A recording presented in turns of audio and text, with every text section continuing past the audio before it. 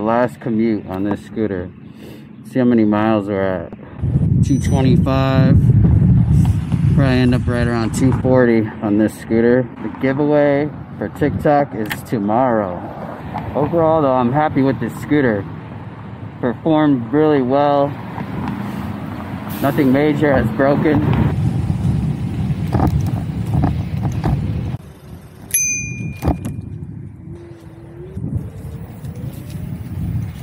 The on this scooter is awesome. So what are some of the big improvements over the Ninebot Max on this? Well, the deck for one is huge. It allows you to have put your rear foot up like this. Put your foot up in the back. It gives you a lot more control over your scooter versus scooters that don't have a rear footrest. Really makes you feel a lot more safe and secure standing on it and maneuvering on it. How else is this better than the Ninebot Max? Well, the price. When I originally bought mine, it was 550 on Indiegogo, and the price since then has gone up to about 900. So, this obviously has a little bit smaller battery, but for most people, I don't think you'll ever use it anyway. It's like 20 mile range is plenty, and that's what you get on this NIU. You can throw up the range test results I did here. I only rode it down to one bar. I didn't feel like walking it, and I had 16 miles. I'm 200 pounds, so any lighter people, you easily reach 20 miles and more. The headlight, you guys can see, very cool halo effect. Cornering on this is really nice on these tires. The tires are very nice tires. They're CST nine and a half inch tires. This thing has dual brakes, front and rear, which beats the Max for sure.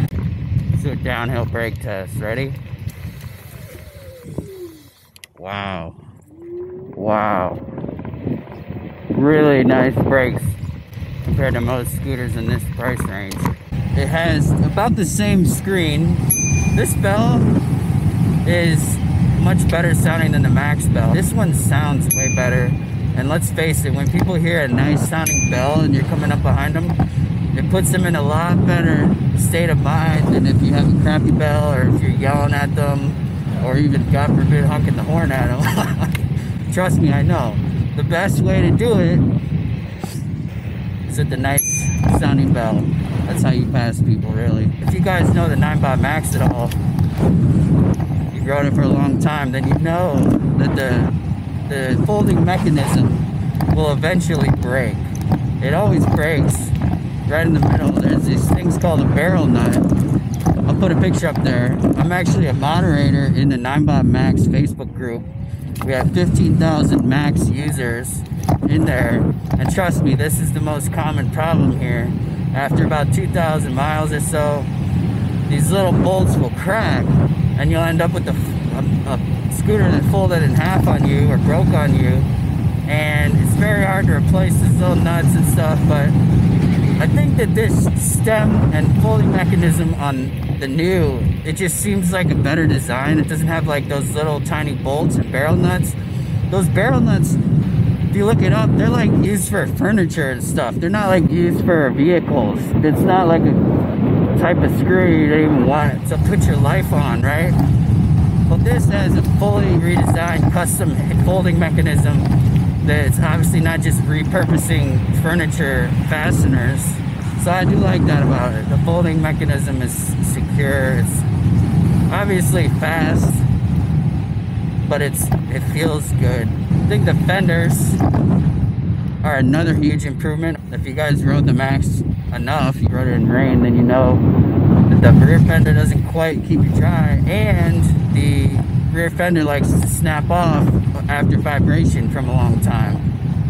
And this can even happen as soon as a couple hundred miles. So a lot of people have to buy new fenders or waste money like reinforcing it, but not on the NIU. Sorry, because it's not clean yet. I've been riding this every day. But you see, the Max fender would always break around this point back here because of all the weight on it. This one has less weight on it because it's bolted up top. So it's really, it's probably never going to break off. One more cool thing I love about this scooter It has this little windshield. This is definitely the first scooter I know of that has a windshield. We just should talk about the one problem I have. Essentially right here, the charge port, it broke. It was originally had a spring that would push it back up. And now it doesn't. Something broke right here and then it's just not working anymore. So I have to push it up manually. It hasn't been a problem yet for me. Just be careful with the charge port cover. it might be the weakest spot on the scooter. Which, guys, if you know me, that's what I'm here to do. I'm here to find the weakest spot and tell you ahead of time so you know what you're getting into on these scooters. Every scooter's got something that breaks, I'll tell you right now. So, at the end of the day, if it's just that, I'm happy. That's a good scooter. I think NIU is uh, definitely putting their scooter in the market at the right price to be competitive. And it's definitely a scooter that you should, you should heavily consider buying. I think also the fact it's on Amazon is really nice. Huge thank you to NIU for letting me test and give away this KQi3. I will include the Amazon link below in the description. Follow me on TikTok if you'd like to be a part of the next giveaway, or if you'd like to see behind the scenes footage like riding in the rain. Thanks for watching. Scooter Gang out.